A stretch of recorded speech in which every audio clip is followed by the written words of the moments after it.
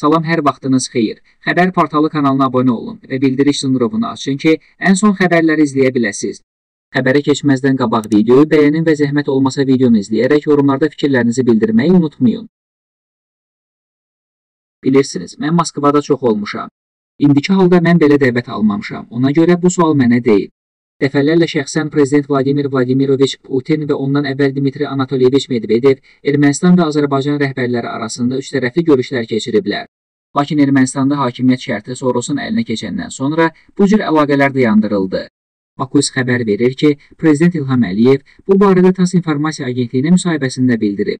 Rusiya münaqişənin nizamlanmasında həmişə mühüm rol oynayıb və mən bu barədə demişəm. Bunun üçün həm tarixi, həm də coğrafi xarakterli obyektiv səbəblər var. Səbəblərdən biri də budur ki, Rusiya 10 illiklər boyu bizim regionda aktiv fəaliyyət göstərir və qarşılıqlı əlaqələr yüksək səviyyədədir. Buna görə də biz hər cür əlaqəyə hazırıq. Yeri gəlmişkən, Xarici İşlər Nazirlərinin görüşünün təşkil olunması barədə təklif gələn kimi biz dərhal razılaşdıq. Bu da bizim mövqeyimizin göstəricisidir. Axı o vaxt Azərbaycan ordusu strateji ərazilərin bir hissəsini artıq uğurla azad etmişdi və bu münaqişənin təqribən 10 gündən çox davam etdiyi vaxt baş vermişdi. Kimin nəyə qadir olması praktik olaraq artıq hamıya aydın idi. Döyüş əməliyyatlarının sonrakı gedişatını təxmin etmək yəqin ki, çox çətin değildi. Lakin buna baxmayaraq biz vaxtı uzatmadıq və ya imtina etmədik, deyə dövlətimizin başçısı qeyd edib. Prezident İlham Əliyev deyib, biz qarşı durmaya son qoymaq və nizamlama yollarını tapmaq üçün Moskvada və ya hər hansı başqa bir yerdə görüşməyə həmişə hazırıq. Biz də sülh istəyirik, lakin Ermənistandan fərqli olaraq biz öz qanuni ərazilərimizi də istəyirik.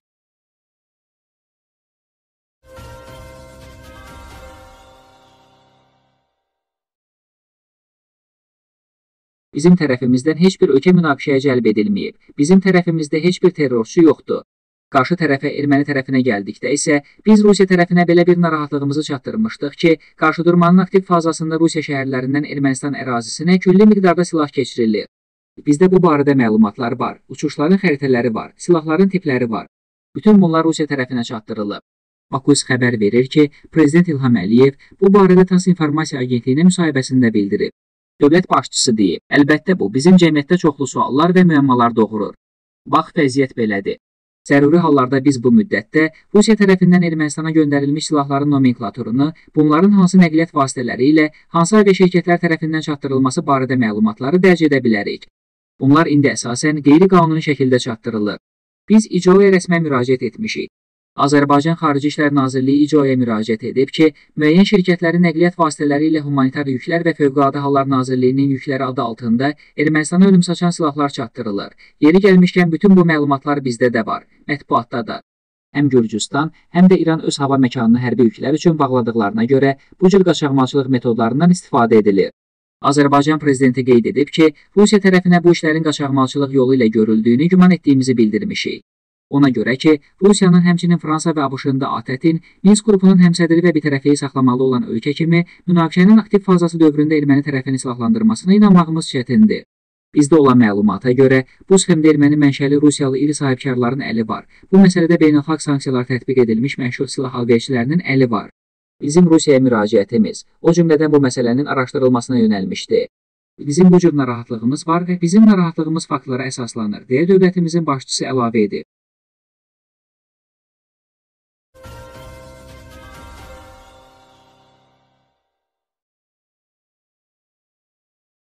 Ermənistanın baş naziri Nikol Paşinyan Facebook hesabından Dağlıq Qarabağ münaqişəsi ilə bağlı açıqlama yayıb. Big Az Publika aza istinadən xəbər verir ki, Paşinyan bu müharibədən qaça bilərdikmi? Bəli, əraziləri təhvil versəydik və gələcəkdə bölgənin statusunun qeyri-müəyyən müddətə qədər uzanmasına razı olsaydı, münaqişədən qaça bilərdik ifadələrini işlədi. Ermənistan baş nazirinin əraziləri təhvil versəydik ifadəsini işlətməsi Dağlıq Qarabağın Azərbaycan Respublikasına aid olduğunu öz dili ilə ifadə etməsi kimi şərh olunur. Qeyd edək ki, bu ilin fevralın 15-də Münhen Təhlükəsizlik Konfransı çərçivəsində Azərbaycan Respublikasının prezidenti İlham Əliyevlə Ermənistan Respublikasının baş naziri Nikol Paşinyan arasında Ermənistan-Azərbaycan Dağlıq Qarabağ münaqişəsi ilə bağlı panel müzakirələri keçirilmişdi. Nikol Paşinyan həmin debatda yanlışlıqla Dağlıq Qarabağ Azərbaycanın bir hissəsidir ifadəsini işlətmişdi.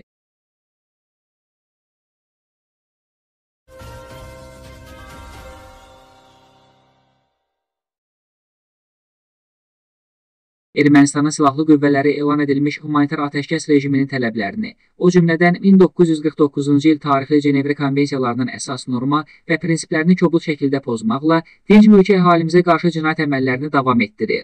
Baş prokurorluqdan bir aza bildirilib ki, 19.10.2020-ci il tarixdə səhər saatlarından başlayaraq düşmən tərəfin silahlı birləşmələri tərəfindən Ağdam rayonu müxtəlif istiqamətlərdən intensiv raket və ağır artilleriya ilə atəşə tutulub.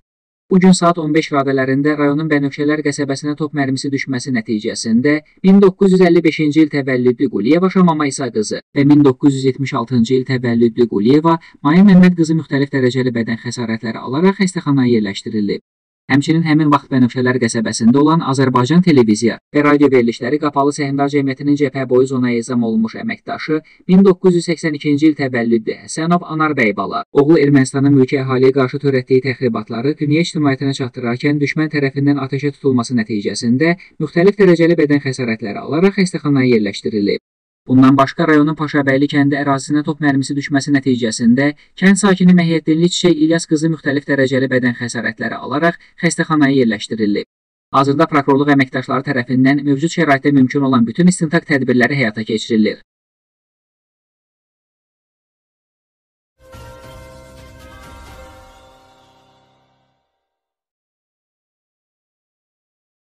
Erməni əsirlərin ailə üzvləri ilə əlaqə saxlamasına imkan yaradılıb. İlyas xəbər verir ki, bunu jurnalistlərə açıqlamasında prezidentin köməkçisi Hikmət Hacıyev deyib.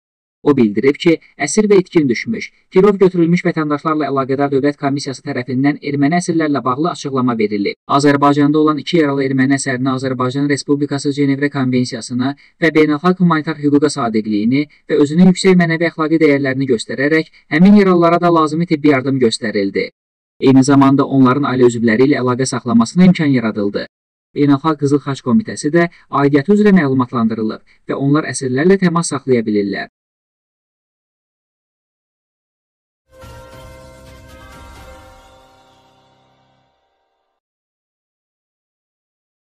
Azərbaycan Xarici İşlər Nazirliyi Mətbuat Xidməti İdarəsinin rəisi Leyla Abdullayeva Almaniya üçün Radikal Sağçı Alternativ Partiyasının Bundestag və Brandenburg Federal torpağının Landtagındakı fraksiyalarının nümayəndələrindən ibarət 4 nəfərlik nümayəndə heyətinin işğal altında olan torpaqlarımıza səfəri ilə bağlı Kibin sorğusunu cavablandırıb Xarici İşlər Nazirliyindən bir qaza verilən məlumata görə. O bildirib ki, bu il oktyabrın 18-də Almaniya üçün Radikal Sağçı Alternativ Partiyasının Bundestag və Brandenburg Federal torpağının Landtagındakı fraksiyalarının nümayəndələrindən ibarət 4 nəfərlik nümayəndə heyəti Stefan Kotre, Stefan Koyter, Andreas Galau, Andreas Kalbits işğal altında olan torpaqlarımıza səfər edib.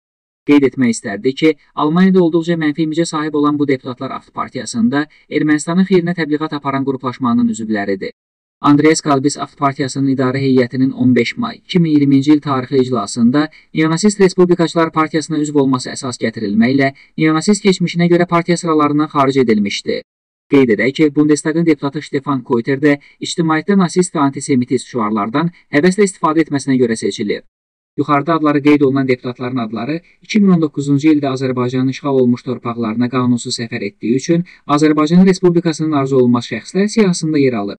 Af siyasətçilərinin adları təkcə Azərbaycanın işğal olunmuş bölgələri deyil, bütövlükdə postsovet məkanındakı münaqişə bölgələrinə tez-tez qanunsuz səfərlər etməkdə hallandırılır.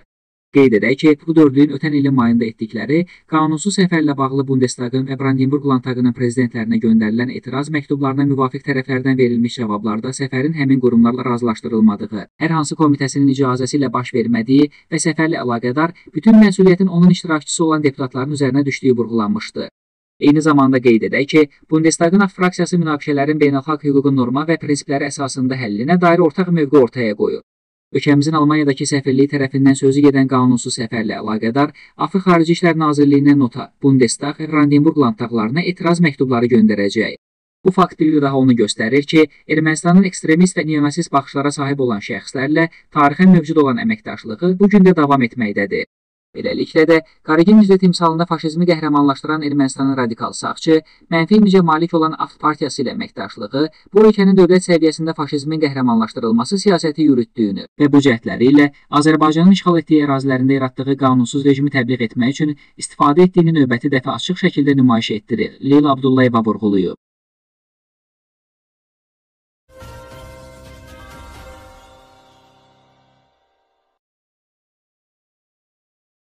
Ermənistan Azərbaycanın mülki əhalisini atəşə tutmaqda davam edir.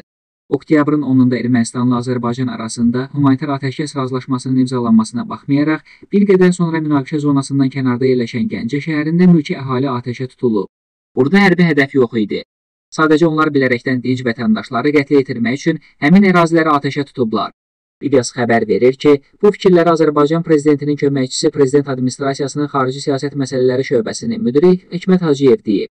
Onun sözlərinə görə Ermənistan Azərbaycanın digər şəhərlərini, o cümlədən sənaye şəhəri olan Mingəçeviri də atəşə tutub. Onlar Gəncədə böyük vəhşilik törədib. Ermənistan dövlət səviyyəsində Azərbaycanın mülki əhalisinə qarşı terror aktları həyata keçirir. Bununla onlar xalqımızın iradəsini qıra bilməyib. Azərbaycan öz torpaqlarını işğaldan azad etməyə davam edir. Oktyabrın 18-də ikinci dəfə humanitar atəşkəs razılaşmasına baxmayaraq, Ermənistan öz xislətini göstərərək yenidən mülki əhalimizi atəşə tutub. Bu Ermənistanın terrorçuluq mahiyyətini ortaya qoyur.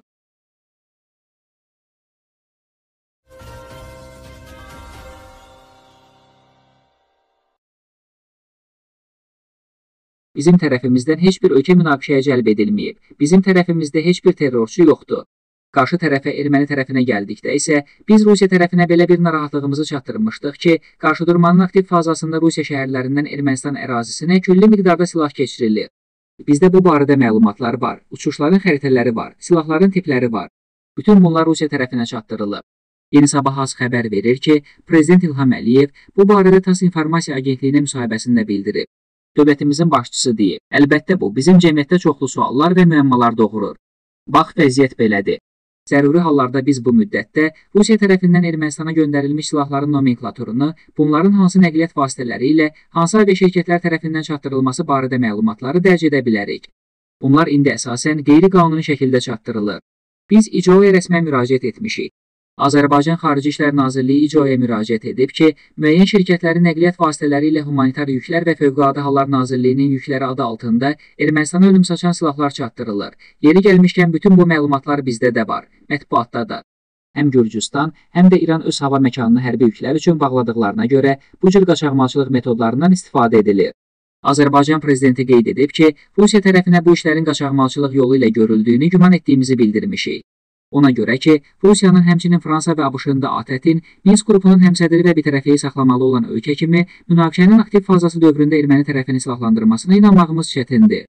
Bizdə olan məlumata görə, bu sxemdə erməni mənşəli Rusiyalı iri sahibkarların əli var. Bu məsələdə beynəlxalq sanksiyalar tətbiq edilmiş məşhur silah alverçilərinin əli var.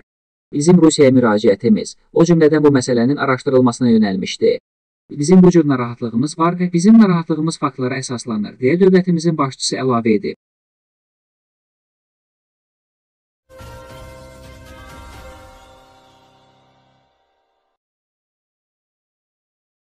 Yeni Sabah az kulis aza istinadən Rus dram teatrının aktyoru Yaroslav Trifonovla müsahibəni təqdim edir.